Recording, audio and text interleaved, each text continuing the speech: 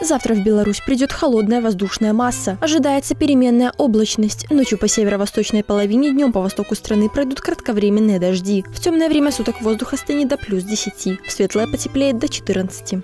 На большей части территории страны ожидается усиление ветра до 20 метров в секунду. Особенно внимательными нужно быть автомобилистам. Не стоит парковаться возле шатких строений и деревьев.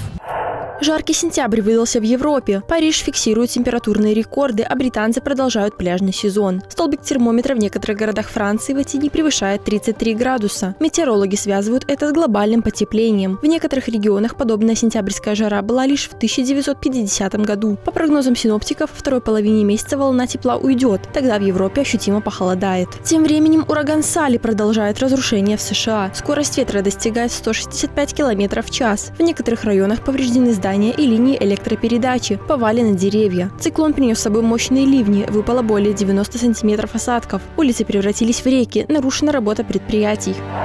Завтра в Бобруйске будет пасмурно, утром пройдут дожди, днем обойдется без осадков. Северо-западный ветер разгонится до 10 метров в секунду. Днем столбик термометра покажет плюс 12 градусов, ночью похолодает до плюс 10. Анастасия Похлестова, Владимир Гребеневич, Бобруйск 360.